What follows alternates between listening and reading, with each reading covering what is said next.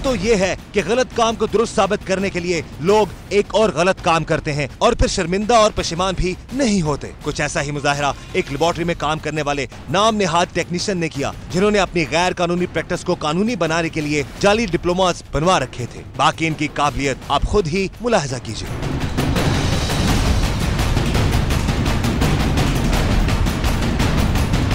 अभी एक और लैब में हम मौजूद हैं। और यहाँ पर जो हमारे साथ हेल्थ डिपार्टमेंट के अफसरान हैं प्रॉपर चीज़ें हम चेक कर रहे हैं और यहाँ पर बेसिक सवाल आते हैं बेसिक सवाल। वो जिस भी लो ऑर्डर पे गए हैं, जिस भी टेक्नीशियन से पूछा, उसको नहीं पता। पर्सनल प्रोटेक्शन इक्विपमेंट क्या होता है?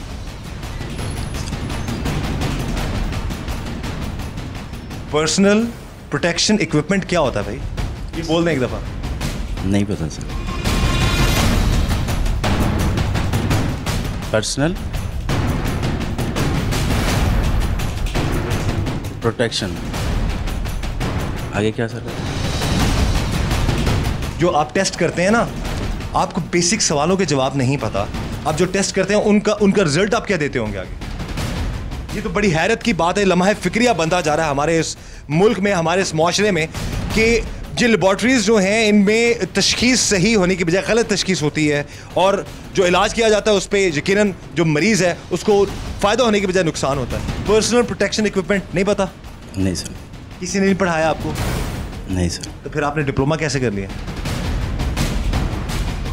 आप इतनी अपनी सर्टिफिकेट दिखा रहे हैं बड़े ज़बरदस्त किस्म के चमकीले चमकीले से आपके हैं ये सर्टिफिकेट जी सर ब्लड को कितने डिग्री सेंटीग्रेड पर रखते हैं जब उसको निकालते हैं बॉडी से? इसको सर ट्वेंटी सेवन से नीचे नीचे होना चाहिए। ये हालात हैं हमारे। ऐसी सिचुएशन में कहाँ जाए पाकिस्तानी अवाम मुफ़्त करते हैं टेस्ट पैसे लेते हैं आप लोग? पैसे लेते हैं। पैसे लेते हैं पैसे आप इस चीज़ के लेते हैं लोगों की ज़िंदगी के साथ खेलें भाई। 27 बता रहे हैं जी ये। क्या कहेंगे इस वाले सर गलत बता रहे हैं। कितना होना चाहिए ब्लड को प्रॉपर जो है रखने के लिए? अरे ब्लड का ऐसा है कि जो रिएजेंट है ना रिएजेंट तो है two to eight degree centigrade ठीक है? ब्लड होता है बायोकेमिस्ट्री के हिसाब से यानी कि जो उनका हाँ, जो आगे टेस्ट होना ब्लड का वो उस हिसाब से उस टेम्परेचर पे रखना है। तो ये आपको नहीं पता था? जैसे स्टोरेज हमने कभी की ही नहीं है ना सर? हम तो फ्रिज में, क्या रखते हैं आप? फ्रिज में सर रिज़ल्ट वगैरह बाकी सारी चीज़ें हैं सर। रिज़ल्ट वगैरह है बस। अच्छा रीजनेंट वगैरह और क्या है? मशरूबात भी बीच में रखते हैं आप? ये सर ये तो ये माह रमज़ान के लिए ये लड़कों ने मंगवा के चलें वो तो आप ज़रूर रखें हम तो ज़रूर आपको कहेंगे आप ज़रूर रखें। लेकिन उसके लिए ज़्यादा ज़रूरी है कि आप अपने लिए लहदा जो फ्रिज रखें ठीक है ताकि इससे अच्छा इसका टेम्परेचर आप कैसे मेंटेन रखते हैं? किसका सर? ये जितने भी आपने केमिकल रखे हुए हैं यहाँ पर उसमें इसके अंदर जो मेंटेन करना होता है कितना टेम्परेचर होना चाहिए फ्रिज का फ्रिज को तो ऑलरेडी हमने उसको सेट किया हुआ है। क्या डिग्री कितने डिग्री सेंटीग्रेड प्यारे भाई? रीजेंट का स्टोरेज टेम्परेचर क्या होता है ये पूछ रहे हैं। आप रीजेंट का स्टोरेज टेम्परेचर क्या है? सर वो टू से एटी एटी तक होता है एटी तक। दो से अस्सी तक होना चाहिए। तो अगर ये दो से अस्सी अस्सी से बढ़ जाए फिर? दो से अस्सी डिग्री सेंटीग्रेड तक। नहीं सर ट्वेंटी एट कह रहा हूँ सर अच्छा, इसका आप कितना टेम्परेचर बता दें कैसे पता चलता है? इसका तो सर मुझे नहीं इल्म कि इस टाइम कितना चाहता है वैसे में। आपको नहीं इल्म है? नहीं सर। किसको इल्म होना चाहिए? आप यहाँ पर टेक्नीशियन है? जी। लैब को आप देख रहे हैं सीनियर हैं आप टेक्नीशियन जी। तो आप अगर आपको आपका ये आलम है तो अब फिर दूसरे जो लोग आपके जूनियर्स काम कर रहे हैं उनका क्या हाल होगा? इनको जी फ्रिज के टेम्परेचर कितना रखना चाहिए मेंटेन करना चाहिए वो नहीं इल्म है। कैसे पता लगाना है वो भी नहीं इल्म है। पता है आपको कि नहीं पता? नहीं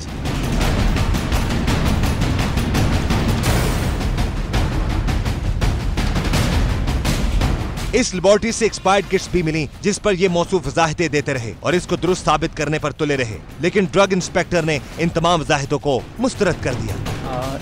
ये किट है। इनसाइट एक्सपर्ट और इस पे जो डेट मेंशन है वो 9 2015 की है। तो इसको ये तो एक्सपायर हो गई है। ये आप क्यों यूज़ कर रहे हैं? सर ये इस तरह होता है सर कि हमारे पास ना जैसे वो पड़ी हुई है सर।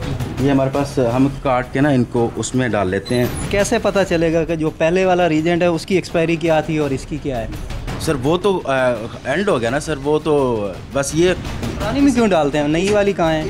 इसी तरह सर जैसे अंदर हमने वो केमिकल रखे हुए हैं उसमें वो जो पड़ी हुई है शुगर की वाइल वगैरह वो हमारे पास एक लीटर की होती है। हम उसमें तो थोड़ा ये नहीं। ये पैक आती है। हाँ जी। पैक आती है। पैक आने के बाद ये ख़त्म हो तो इसे डिस्कार्ड करना होता है। ऐसी ही है। आप ये कह रहे हैं कि इसमें से निकाल के आप नई में डाल देते हैं। या नई वाली उठा के उसी में डाल देते हैं। ये तो गलत है उसकी एक्सपायरी कैसे पता लगेगी? एक्सपायरी इस पर मैंशन है। इसके अंदर पड़ी हुई चीज़ें मैंने यही समझना है कि ये नौ दो हज़ार पंद्रह को एक्सपायर हो गई। ठीक है? आप कैसे कहते हैं कि ये नहीं है एक्सपायर मुझे वो प्रूफ कर दें। कोई जवाब है आप, आपके पास ड्रग इंस्पेक्टर साहब का? सर मैं अभी इसके बारे में तो प्रूफ नहीं दे सकता। इतना हसास काम है बीमारी की तशखीस करना उस काम को आप लोग इतना कैजुअल क्यों लेते हैं? सर इतनी लापरवाही क्यों करते हैं आप? सर लापरवाही कभी नहीं की। सर आप ये बताएँ कि इन्होंने कोई डॉक्यूमेंट दिखाया? अभी तक जो डॉक्यूमेंट दिखाए हैं वो इनके एक्सेप्ट किए जा सकते हैं अगर देखा जाए तो? नहीं ऐसा तो नहीं किए जा सकते क्योंकि डिप्लोमा के ऊपर लिखा है कम्पिटेंसी बेस्ड कुछ की समझ नहीं यार कम्पिटेंसी बेस्ड ऐसा क्या है? पहले से इनके कम्पिटेंट थे तो उन्होंने बाद में डिप्लोमा इतने कॉम्पिटेंट इनको आपने किसी भी सही किसी भी सवाल का सही जवाब मेरे पहले नहीं दिया। आपने आप अभी जो वेस्ट मैनेजमेंट कैसे करते हैं हम यहाँ पर? सर वो डी एच के में हम जमा करवाते हैं। कहाँ रखते हैं उसको? हाँ जी। हाँ जी वेस्ट मैनेजमेंट कहाँ? उसके कोई आपने रखे हुए हैं कुछ उसको डिवीज़न की?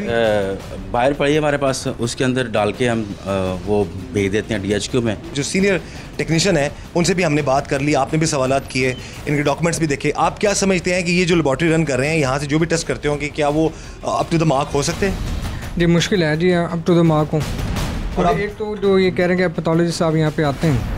तो अभी तक तो ना उनके कोई डॉक्यूमेंट आया और ना ही इन्होंने कोई रबता किया उनसे। अभी हम मजीद देखेंगे इसके अंदर, अगर कोई और मेडिसिन हमें क्योंकि इसके ऊपर एक्सपायरी डेट नहीं लिखी हुई। अगर वारंटी बिल आता है तो फिर हमें दिखा दें, हमें पता चल जाए कि वाकई एक्सपायरी नहीं है। अगर तो इतनी ज़्यादा क्वान्टिटी में हमें बगैर एक्सपायरी इसके ऊपर मेंशन ही कोई नहीं, और स्ट्रिप एंड जिसके ऊपर एक्सपायरी डेट इनकी 2015 तक की लिखी हुई है, फिर तो कानूनी तो काफ़ी बड़ा जुर्म है।